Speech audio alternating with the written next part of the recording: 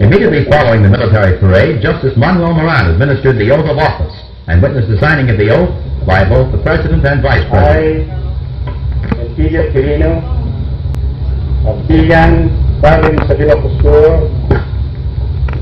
having been elected and proclaimed President of the Philippines, do solemnly swear that I will faithfully and conscientiously fulfill my duty The President signed his oath with a special gold fountain pen presented to him by a group of admirers from his home province. And then, the following the signing by the President, and feeling the weight of his new office, Vice President-elect Fernando Lopez stepped to the